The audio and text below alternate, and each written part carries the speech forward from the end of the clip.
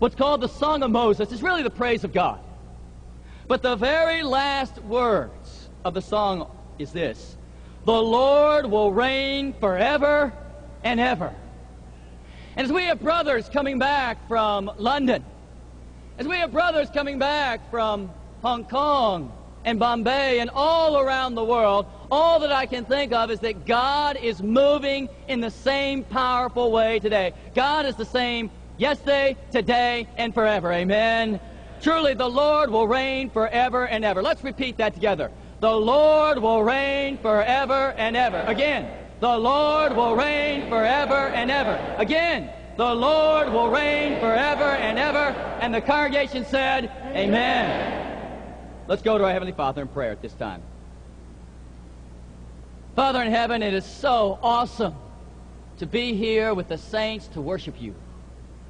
To be with brothers and sisters that have come on back to encourage us.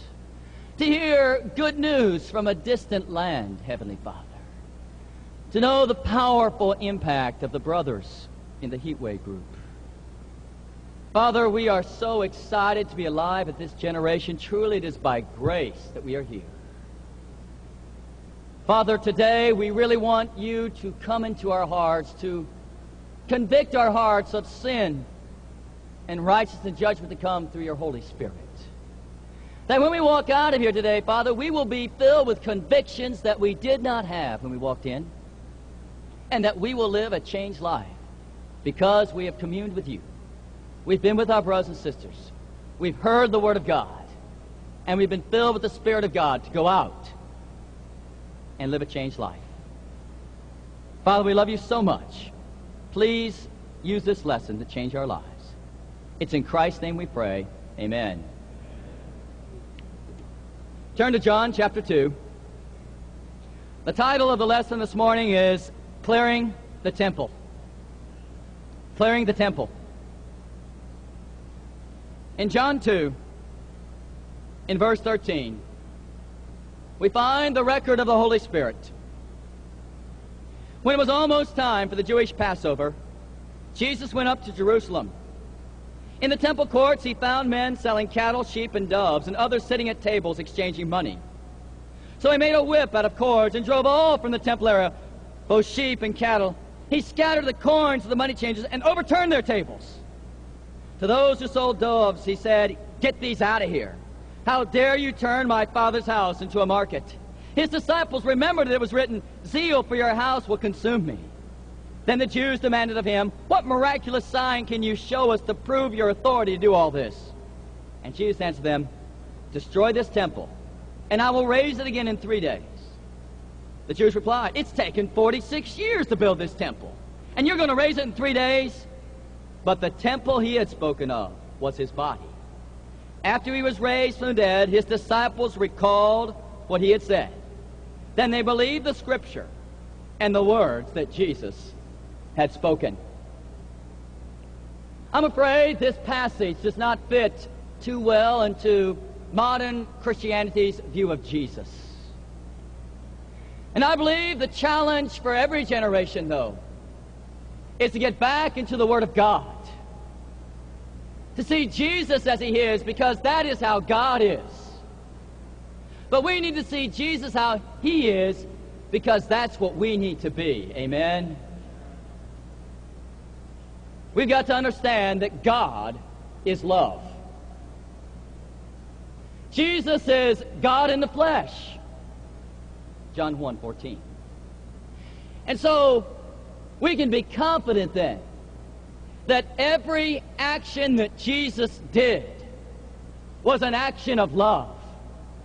It may not have been the mushy, ooey gooey kind of love. It may not have been sentimental type of love, but it was God's kind of love. And we see love personified. We see love incarnate here in this passage. We realize from the scripture it was time for the Passover feast. And Jesus went up to Jerusalem.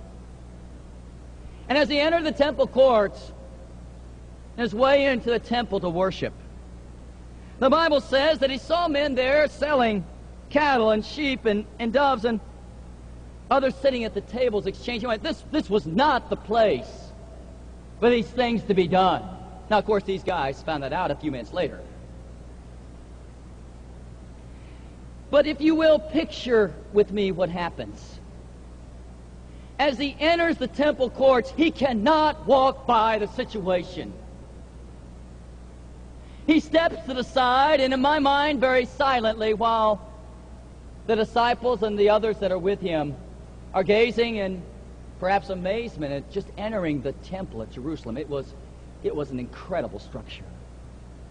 And they're looking at all the activity that's going on. And yet Jesus slowly is pulling separate cords, separate strands, and binding them together in his hands, looking at the situation. With the mind of God, he's looking at the hideous condition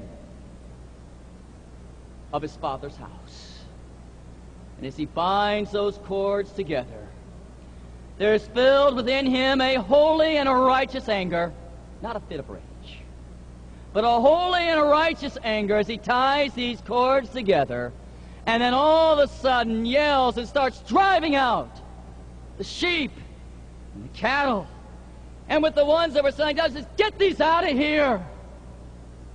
He goes over to the money changer tables. He doesn't say, Guys, can you get, get the money collected and move on out, please? He grabs the table and just overturns them. the disciples. They're standing on the sidelines, totally blown away. Now, it is interesting, they all think of one scripture. You know, there are a lot of scriptures in the Bible. Do you know that? It is interesting, though, that they all came together and they thought of one scripture at this point from the book of Psalms. Zeal for your father's house will consume me. They said, this is God. He is totally consumed with zeal. Without question, we look at Jesus and we see God incarnate. We look at Jesus, we see what we need to be. We see a man who wanted to please God with all of his heart, soul, mind, and strength, and was willing to act alone no matter what his closest people did. That is our Jesus. And he didn't do this just to be upset and be mad. He did this out of love for God, and yes, out of love for those people. They need to know they were doing wrong. You know, in 1 Corinthians chapter 3, Paul talks to the church. In verse 16, he says, don't you know that you yourselves are God's temple? See, he's comparing the whole church of Christ to God's temple. And that God's Spirit lives in you. If anyone destroys God's temple, God will destroy him, for God's temple is sacred, and you are that temple. See, one of the analogies that the Scripture uses to describe the church of a living God in the first century is that of being the temple of God. And right here, I think that we have got to grapple with our first question of the day. Are we going to allow tradition or truth to be in the temple of God, the church of Jesus Christ today? That's the first question that we've got to grapple with. For Jesus, he refused to let tradition, those things that have been going on for years there in temple courts, continue to go on the same. He couldn't walk by it. He had to say something. He had to do something, even if it meant acting alone. I really believe that one of the greatest and most misleading elements that is in Christianity today are the traditions that surround salvation. You know, if you ask six people on the street how to be saved, you'll come up with probably seven different answers. You know, there are a lot of different opinions out there, isn't there? And sometimes we even value the religious leader's opinion. But bottom line, there's only one person's opinion that's going to count come the judgment day, and that is God's. Amen? Amen? And the way that you find out what God's truth is, is by looking in the Word of God. You know, tradition is such a dangerous and insidious thing. The Bible says that if we hold traditions, we actually nullify the Word of God, and our worship becomes in vain. Matthew 15, verses 6 through 9. I want us to look at what Jesus taught about the truth of salvation. And then it's time to clear the temple. Amen? Turn to John chapter 3. Nicodemus comes to him at night, and he's very complimentary of the ministry of Jesus. And then Jesus says in verse 3, chapter 3 of the book of John, In reply, Jesus declared, I tell you the truth. Unless a man is born again, he cannot see the kingdom of God. How can a man be born when he is old? Nicodemus asked. Surely he cannot enter a second time into his mother's womb to be born. Jesus answered, I tell you the truth. Unless a man is born of water and the Spirit, he cannot enter the kingdom of God.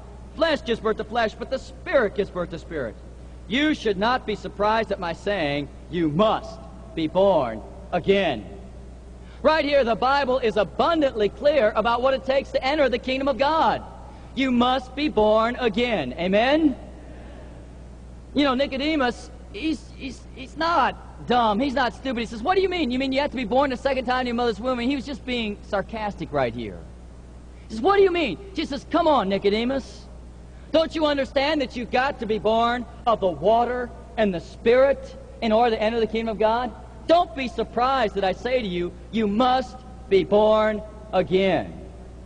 See, I think the problem is, is that this phrase, born again, in our society today has a lot of negative connotations to it. And there are a lot of Bible words that have some negative connotations to us. That's Satan's way of turning us off to God's way. And if it's in the book, let's embrace those phrases. Amen? And so if the book says, be born again, let's us say, you got to be born again. Amen? And let's not be afraid of the world's opinion. Well, the question might come, what does it mean to be born again? Well, later on in the chapter, in verse 22, we read this.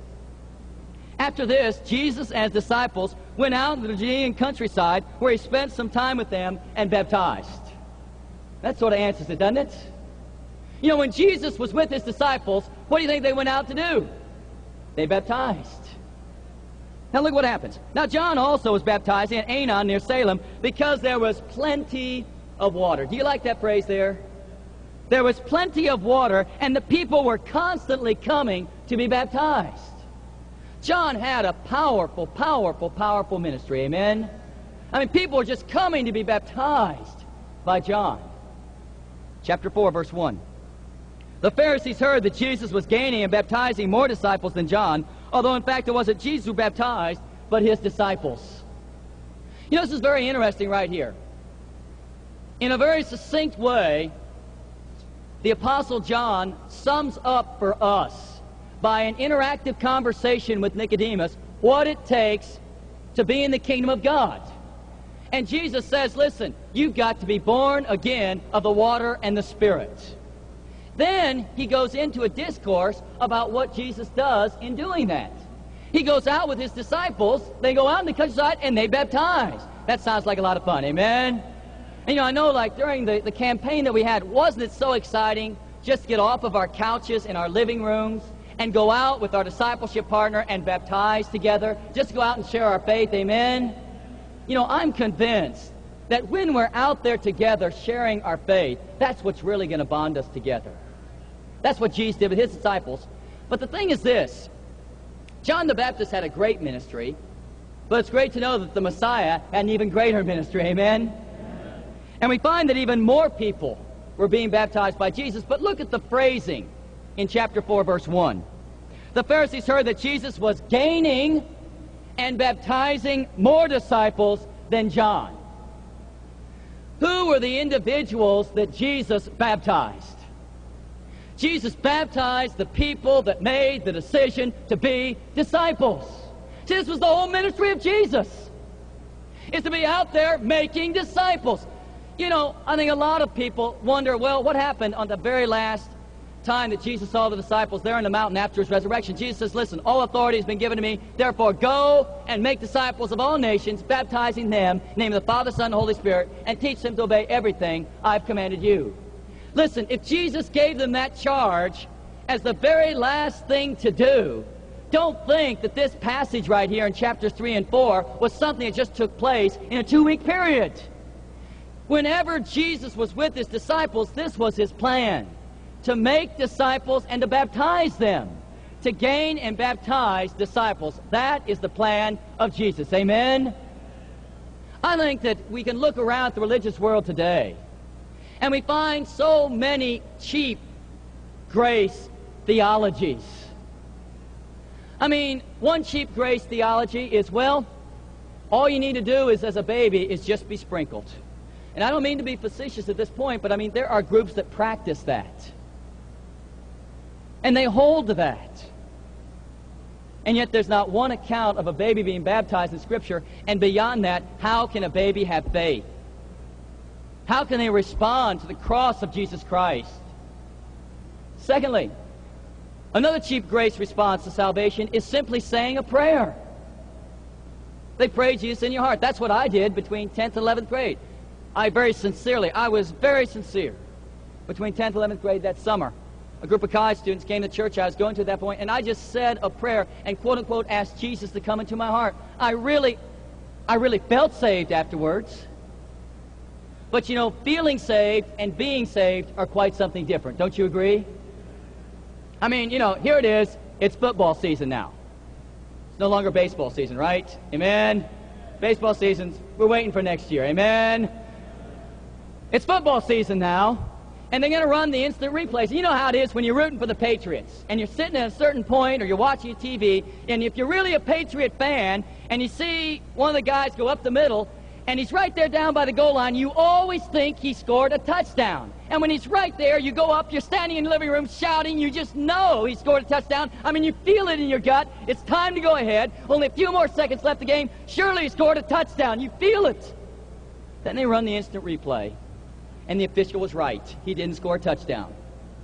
See, feelings can be deceptive. Amen? And so even though you you may have been baptized as a baby and you feel saved, that's not what the truth is. Even though you may have sincerely prayed Jesus in your heart and have felt saved, that's not what the truth is. I think even within churches of Christ, there's been an effort to say, turn over to Acts chapter 2 and convert people to the doctrine of baptism. Now, I think baptism is very important. If Jesus thought it was important, we need to think it's important. Amen? Amen? But look at what it says in Acts 2. Peter's preaching. He's preaching about Jesus, and then in verse 37, this is the response of the people. When the people heard this, they were cut to the heart and said to Peter and the other apostles, Brothers, what shall we do? Peter replied, Repent and be baptized, every one of you, in the name of Jesus Christ so your sins may be forgiven and you will receive the gift of the Holy Spirit. Verse 41. Those who accept this message were baptized, and about 3,000 were added to the number that day, and they devoted themselves, the apostles' teaching, to the fellowship, to the breaking of bread, and to prayer. When Jesus was preached in the book of Acts, when the cross of Christ was preached, and that is the message, amen? When the people understood they were sinners, they were cut to the heart. It wasn't a matter of just understanding they had done wrong. They knew that they were sinners. They knew that they were lost. They were cut to the heart. And they said, What shall we do? And Peter says, You got to repent. You got to change your life. Not just feel sorry for what you've done. You got to repent. You got to change your life. You got to turn away from the old life and turn to the new life. That's the decision you make when you make the decision to be a disciple. Amen? That's the terminology of Scripture. You make Jesus Lord at that point. Then and only then are you ready to be baptized for two purposes. One, to receive the forgiveness of sins, and secondly, receive the gift of the Holy Spirit. And when the people heard this message, verse 41, 3,000 people were baptized that day. Isn't that exciting? Amen? I mean, we got about 3,000 people a day. Just look around at what 3,000 is like. Just turn around. Wouldn't that have been awesome? Everybody gets baptized the same day. Wouldn't that be fantastic? Amen? And all of these now, what happened after verse 42? They devoted themselves to the apostles' teaching, to the fellowship, to the breaking bread, and prayer. You know, some people want to say, well, this was taught after baptism. I think not. I think they knew what they were doing when they were getting baptized. It would be inconsistent with the ministry of Jesus. The ministry of Jesus was to gain and baptize disciples. If these guys didn't baptize disciples, if they didn't teach them the lordship of Jesus Christ, then they would have disobeyed Jesus just a few days after his ascension. See, I really believe that so much of the religious world is in error. And we've got to make a decision. Are we going to just sort of walk into the temple and worship God as, as we always have? Or are we going to say, hold it, stop? I got to say something right here. There's some things that are not right that are being taught. We cannot have a cheap grace theology in Christianity. We cannot embrace traditions. We have got to hold to the truth no matter how many or how few people hold to it. Truth is truth. Amen? And so we may have people in the crowd today that have never done this, that have never made the decision to be a disciple of Jesus and be baptized. If you've never done that, you need to make your decision today. Just don't walk in the temple and then walk out as if you've seen no nothing wrong. Let's change it like Jesus. Amen. Secondly, not only do we need to make the decision between tradition and truth, we have to make the decision between being religious or righteous. In 1 Corinthians chapter 6,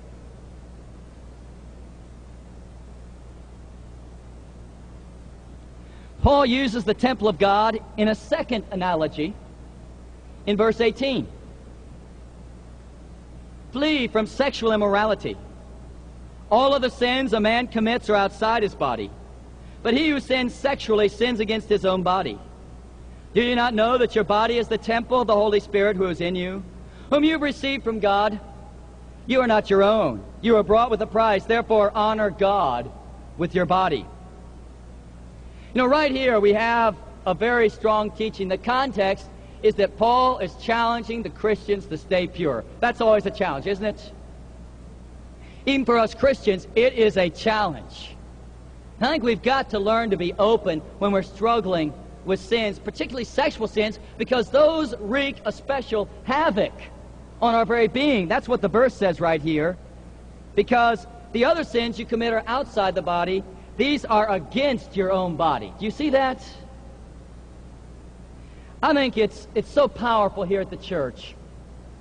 When we have couples like Mo and Terry, who are baptized in the Christ right here, and then find each other in the Lord, and then make the decision to be married. Isn't that fantastic? And the great thing about the church is that you're able to date different people. Of course, that's not why we're here, is to date, but it is the place to find dates. Amen? I mean, you start dating non Christians, then you're going to get in some real major problems, aren't you? But something that's so beautiful is that we've got such great teachers in the church that teach us from the Word that you need to learn how to be faithful to that guy you're going out with or that girl you're going out with by not putting your hands on the temple of God. That's their bodies, right?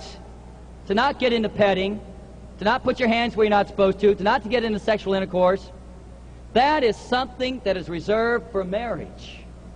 See, I think a lot of people feel like, well, you're denying us fun, you're denying. No, no, no, no.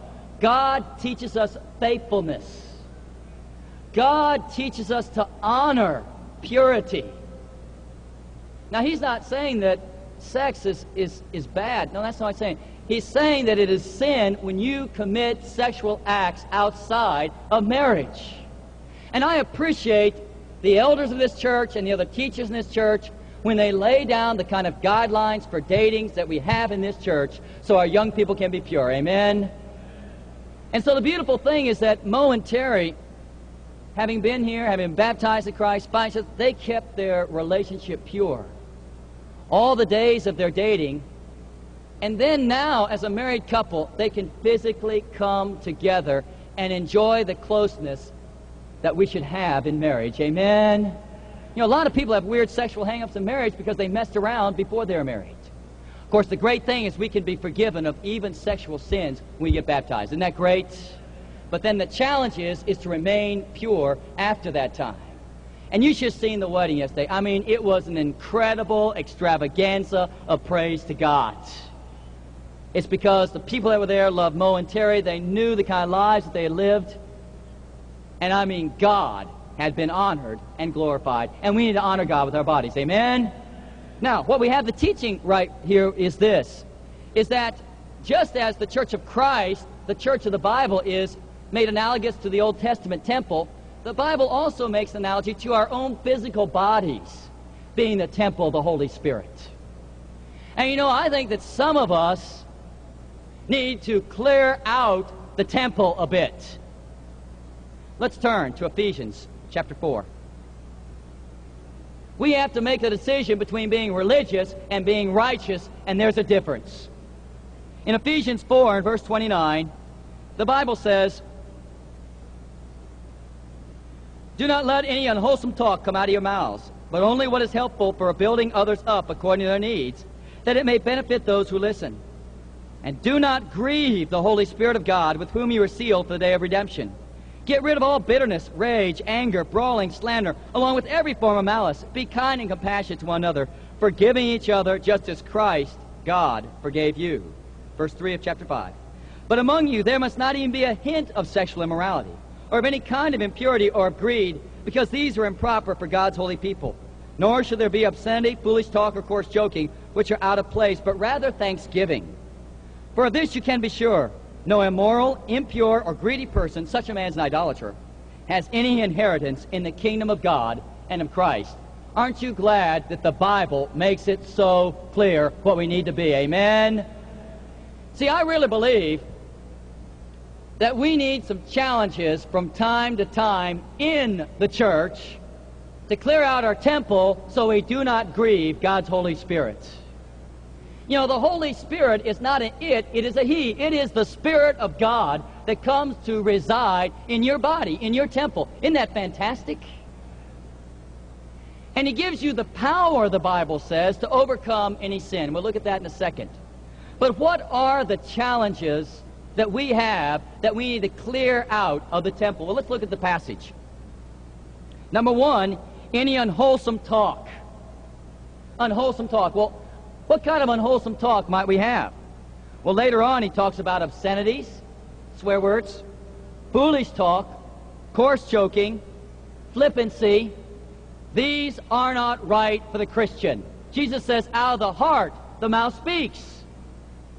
You know, I used to excuse people having fits of rage and saying bad words or bad things when they were angry. No longer do I do that. I used to sort of rationalize, well, they were just angry. Listen, Jesus out of the heart, the mouth speaks. If someone says something in anger, that's what they feel in their heart. That has to be dealt with. It's time to clear out the temple. He goes on, he says, listen, verse 31, chapter 4. Get rid of all bitterness. You talk about an interesting sin, it's bitterness. Bitterness is resentment. And a funny thing, you can be religious, you can go to church, go to Bible talk, even share your faith, and yet if you are bitter on the inside, you are dying spiritually. And the dangerous part that Hebrews 12 talks about is that bitter root can not only cause you to lose the grace of God, but you can spread it through unwholesome talk to other people, through qualms and quiet reservations and bad attitudes. And the way that things start is usually through sort of language like this. Well, I think that Al Baird's a great elder. I mean, really a super elder, but. Da da da da da. See, that sounds so positive, doesn't it? But when anyone sticks in, but, you know, there's a problem with that person's attitude. Amen? And very often, the people that we're bitter against are either authority figures because we've had a fear put into us by authority figures being mean to us in the past, whether they be parents or teachers or coaches or whatever the situation is, or it's those people who are really trying to interact with us one on one and help us with our lives. We get bitter towards them, and you know what the issue is? We don't want to change what they're challenging us with.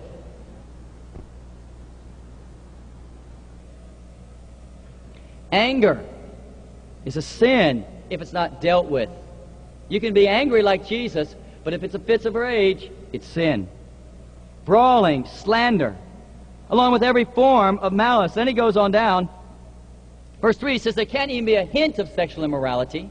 Not even a hint. Even if something looks immoral, it's got to go. That's why we tell the brothers, hey, you shouldn't go into an apartment and be alone with a sister. I mean, there's just too many temptations. And besides that, what do your non-Christian neighbors always think? I mean, you know how they think, right? I mean, we all used to be there, right? We can't have any impurity or greed. You know, I think so often we do not want to have these kind of sins challenges because you can't see impurity or greed. Now, you can see evidences of them. But I think a challenge for all of us as Christians is to make a decision. Are we going to be simply religious or are we going to be righteous? You can be religious and come to all the services, do everything. But you still won't be righteous till you get these things out of your heart. And the only way to be righteous is that you are open. James 5:16 says, "You must confess your sins to one another." When is the last time you sat down with your discipleship partner and said, "Brother, I need to talk to you about my sins today, yesterday, this week?" You know, I think it's been too long. One of the brothers this week came to me and he says, "Brother, I just need to get with you. I've got so much sin in my heart I've got to talk about." I said, "Okay, let's get together today." we got together, and he just, it was, I mean, it was convicting. He just shared these sins have been going on for weeks and weeks and weeks. But you know something? I challenged them on the issues, and then there were tears, and then we prayed. There was forgiveness, and he's doing awesome spiritually right now. Isn't that great? I want to challenge you before the World Mission Seminar comes. That's going to be fantastic. Amen before the world assembly, let's get all the sins out of our hearts so God can move powerfully in this assembly. Amen? Amen? Secondly, we have got to deal with the issue of greed. We've got this special missions contribution coming on up. We can't just sort of make the goal of two million. We can't do that. That's, that's not Christian, is it? I mean, God does immeasurably more than all we ask or imagine. So what do people need to do? Immeasurably more than all we ask or imagine. Amen? We can't just go over it we need to annihilate that. Amen? We need to blow it away. Let's not be religious. Let us be righteous. Thirdly, we've got to make the decision whether we're going to be a spectator or a servant of God. Look at verse 8 of chapter 5 of Ephesians. For you were once in darkness, but now you're in the light of the Lord. Live as children of light, for the fruit of the light consists of all goodness, righteousness, and truth. And find out what pleases the Lord. Have nothing to do with the fruitless deeds of darkness, but rather expose them. For it is shameful even to mention what the disobedient do in secret. But everything exposed by light becomes visible. For it is light that makes everything visible. This is why it said, Wake up, O sleeper, rise from the dead, and Christ will shine on you. You know, remember back in John 2? Remember how Jesus was walking into the temple to worship at the Passover feast, and he's with the disciples and some of his family even. And the rest of them just sort of walk on, want to walk on in, but Jesus looks around and he gets upset about what's in the temple. They had desecrated his father's house. And he knew something had to be done. Jesus was a servant of God. The disciples were simply spectators. I put before you that the church is going to be what it needs to be. We need to be like Jesus. Amen? And what's the Bible say right here? We need to have nothing to do with the fruitless deeds of darkness. But in verse 11 it says, but rather expose them. It doesn't say just for God to expose sin, though He will expose sin. I mean, it's uncanny, isn't it? He will expose sin. It doesn't just say for the elders and the evangelists to expose sin. It doesn't just say for the house church leaders and the Bible talk leaders to expose sin. He says each one of us needs to expose sin. That's what it means to be like Jesus. Amen? But see, the reason that we're not like Jesus is we're basically conflict avoiders. I mean, we look at what happened in John 2 and we go, wow, that was bold on Jesus' part. Doesn't that blow you away? Come on a minute. Doesn't that blow you away? See, you're a conflict avoider. I had to get you to admit it right there. I mean, Jesus did what was right. And we've got to make a basic decision. With the people that we're trying to bring to Christ, do we love their soul more or do we love the relationship that we have with them more? If you love their soul more, then you're going to be willing to expose the deeds of darkness in their life. Turn to 1 Thessalonians chapter 2. It's a scripture we all learn as young Christians. Verse 8. We loved you so much that we were delighted to share with you not only the gospel of God, but our lives as well, because you become so dear to us. See, I think that a lot of times young Christians really want to bear fruit. I mean, that is our purpose, to bear fruit for the glory of God. Amen? But they're so anxious to bear fruit that they fail to love the people that they're sharing with in the way this scripture talks about.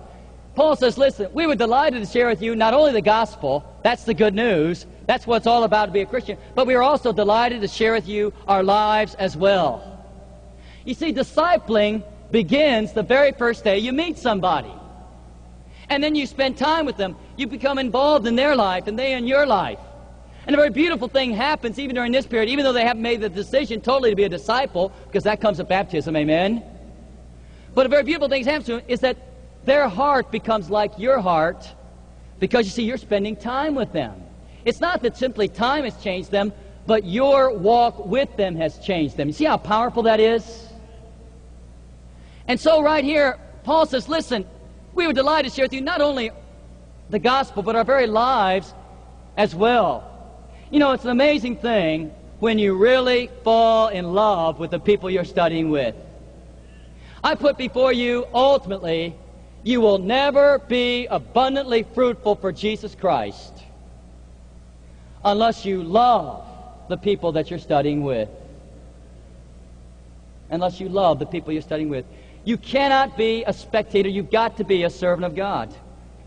You know, a while back, I remember studying with a person, young man, and uh, I'd really put a lot of time into him. We'd spend a lot of good time together, a lot of fun time together, and it is fun to be with people. Amen. We can have a great time with people, right? And we put a lot of good time, but then he missed the Bible talk, and I was a little bit concerned. You know, when someone misses Bible talk, when someone misses church, you know, something's going on. Satan's at work. Amen. So I went down to where he was working, and I said, "Hey, so and so, I I really missed you last night at the Bible talk. See, I loved him more." than the relationship with Him. Because, you know, when you say that to someone, you know, sometimes they can draw back. And he says, Well, listen, I just had a lot to do. My work was coming on in. I hadn't eaten. Uh, I had a lot to do that night. I said, Hold it, hold it, hold it. Are you telling me that your work and eating was more important than the Bible talk? He says, Yes. Well, no. Not exactly. I said, so and so. I said, listen, you need to understand, I missed you last night. You need to be a Bible talk. That's how you're going to learn to be a Christian.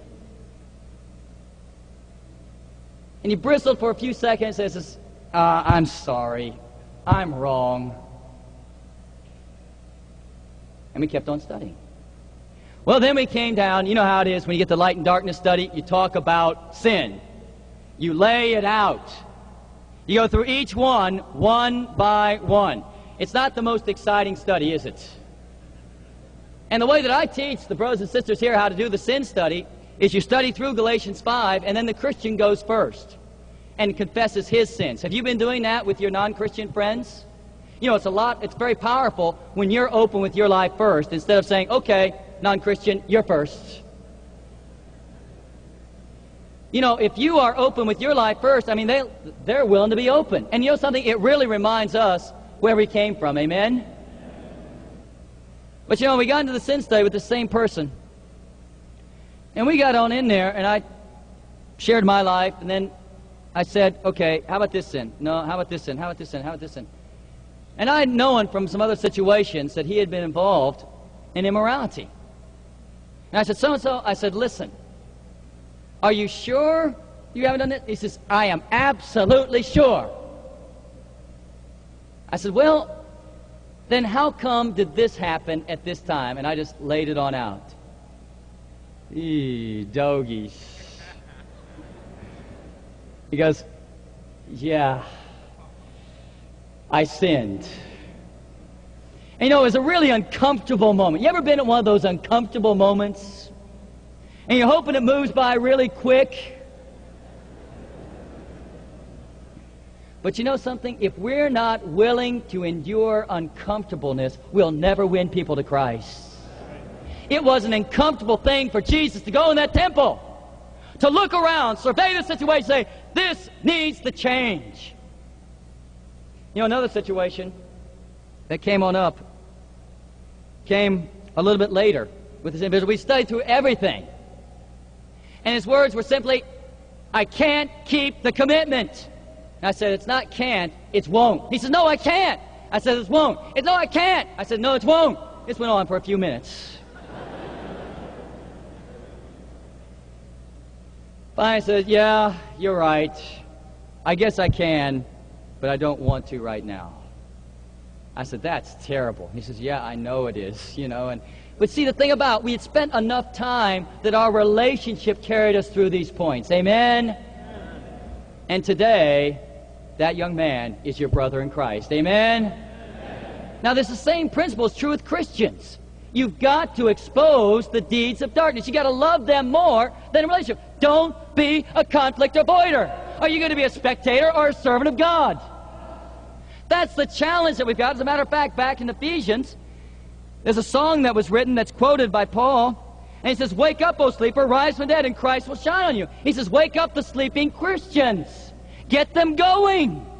That's what he's talking about right here. You know, we have got to be servants of God who overturn the table of priority. Amen? We got to be servants of God and overturn the tables of sin.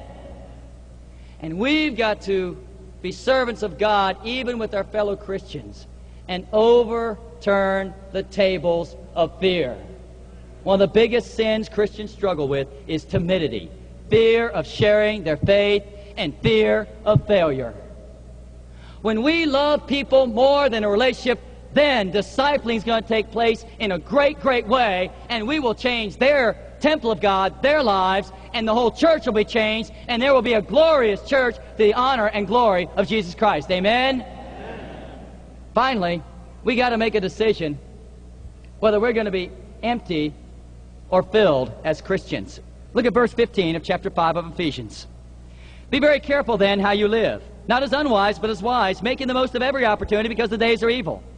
Therefore, do not be foolish, but understand what the Lord's will is. Do not get drunk on wine, which leads to debauchery. Instead, be filled with the Spirit. Speak to one another in psalms, hymns, and spiritual songs. Sing and make music in your hearts to the Lord, always giving thanks to God the Father for everything in the name of our Lord Jesus Christ. You know, Paul's having a little bit of fun with words right here, actually. He's saying, listen, don't get drunk on wine. Don't be filled with wine. Be filled with the Spirit. Be drunk on the Spirit. Amen? I mean, I thought Keith Wilder was pretty close last night. Amen? I mean, it's great to be in the Lord. Amen? See, I really believe that even as Christians, we can be empty. You know, I was reading this article in USA Today a few days ago about Carrie Fisher, who was the uh, young woman that starred in the Star Wars trilogy. And uh, she was just talking about her life. He says, and it's simply a little quote in there, it simply said, My life is so empty. My life is so, she's done so much, so much glamour, so much stardom. And she simply says, My life is so empty. You know, we need to get the message out to everybody because everybody outside of Jesus Christ is empty. Amen? Amen? Because only the Spirit fills the void of the Spirit. Now, you can put short term substitutes in there, but short term substitutes are not going to get the job done. Only the Spirit fills the God vacuum within each one of us. But you know something? emptiness can even come on a Christian. You go, oh no, that can't be. We know from Acts chapter 9 and verse 17 that when Ananias came to Paul, he said, I want you to receive your sight and be filled with the Holy Spirit when you're baptized. You see, we're filled with the Holy Spirit when we're baptized. You remember when you were baptized? You remember, you were filled with the Holy Spirit. It was a great moment. Amen? But it's amazing. Christians can become empty. Well, what do you mean? Well, it's the old parable of Jesus. He talked about it in Matthew 12, I believe, verse 43, in which he said, There was this house, and in this house there was this demon. And the house was swept clean of the demon, and it was gotten out of there. But because nothing else was put in the house, the demon came back with seven more demons, and the condition of the house was worse at the end than in its former state. You know, I believe there are a lot of Christians that sweep clean the temple at baptism and are really excited about it, and it is a great feeling dealing with all your sins. But they remain empty because they don't put anything good in its place. Turn to Galatians 5.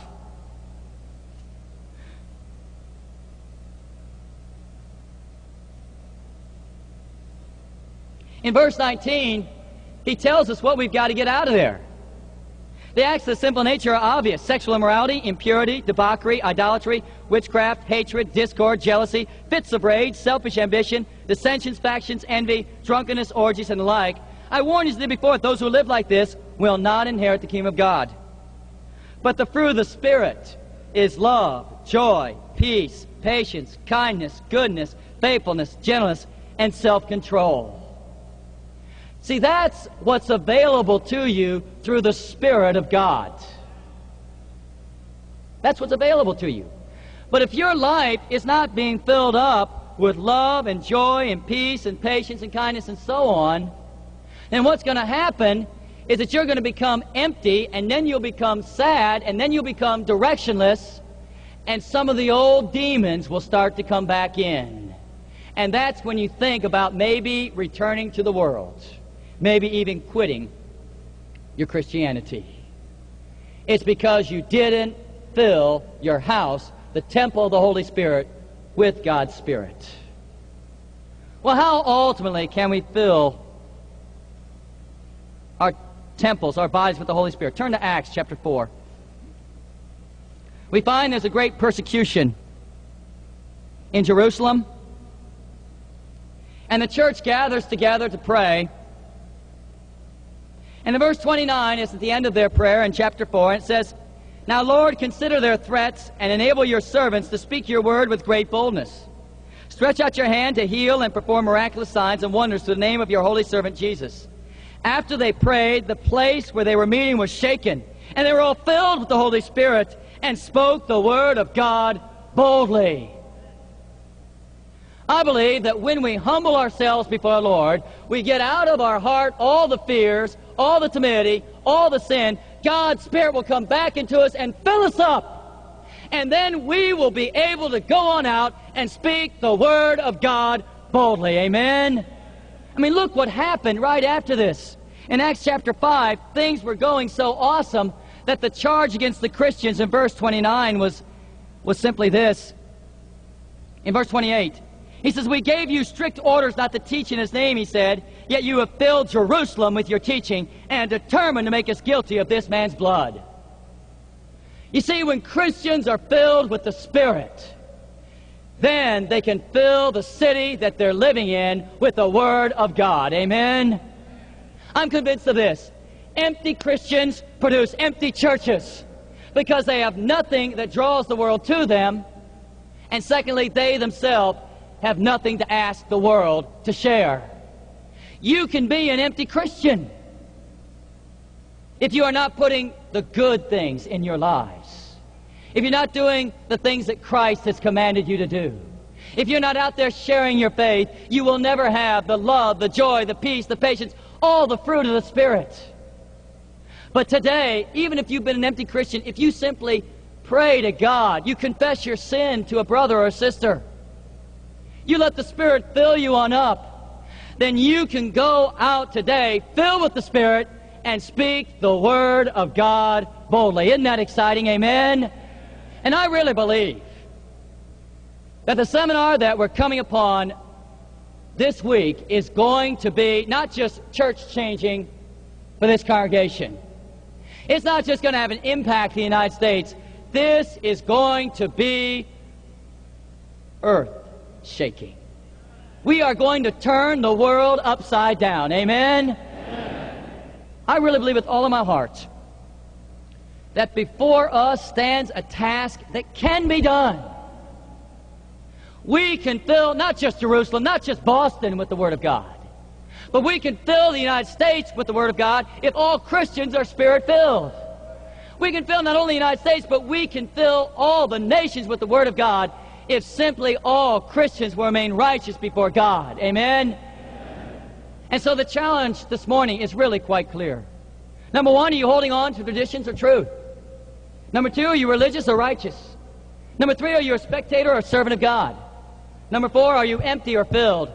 Here's the challenge be like Jesus. Let's clear the temple out. Let's simply be the church of Christ that goes by the Word of God. But not just the church. Let's clear the temple out. Let's clear our own lives out. And let's be the people of God that God can use. Amen? If you need to respond in any way today, if you want to be baptized today, if you want to rededicate your life today, if you want to confess sin today, come forward to the men that are standing in the aisles as we sing as our invitation song, I've decided to follow Jesus. Let's stand.